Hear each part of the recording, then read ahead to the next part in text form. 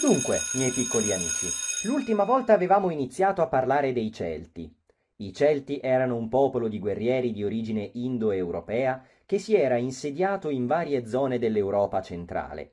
In Italia arrivarono attorno al 500 a.C. nella pianura padana, con la loro organizzazione in tribù. In cosa credevano, oltre al dio dalle corna di cervo? I Celti erano politeisti ed ogni elemento della natura per loro era sacro. Ad esempio, davano un genere agli alberi.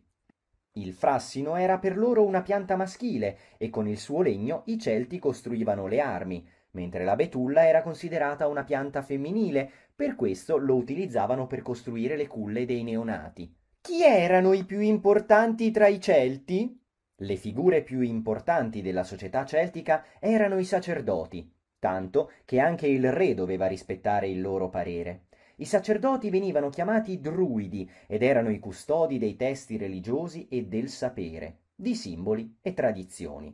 Se osserviamo i vari reperti archeologici, in particolare le armi, notiamo che la produzione artistica celtica fu essenzialmente decorativa, ornamentale, legata alla produzione di gioielli, vasellame, armi e monete.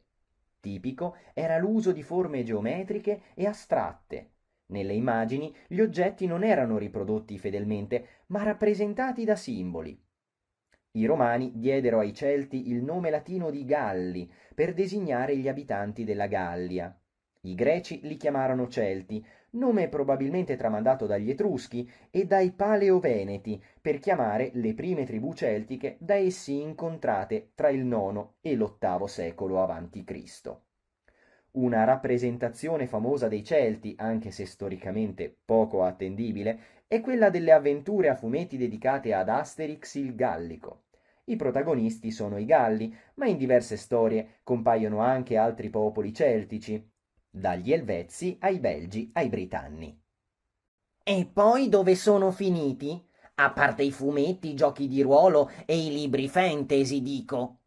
I Celti non si imposero sulle tribù esistenti, ma si mescolarono ad esse. Quando arrivarono gli Etruschi e i Romani, l'Italia nord-occidentale era abitata da una complessa rete di popolazioni celto-liguri, con alcune differenze geografiche. Ah, i Liguri, è vero! I Liguri li conosceremo nella prossima lezione, insieme ai Veneti. Alla prossima!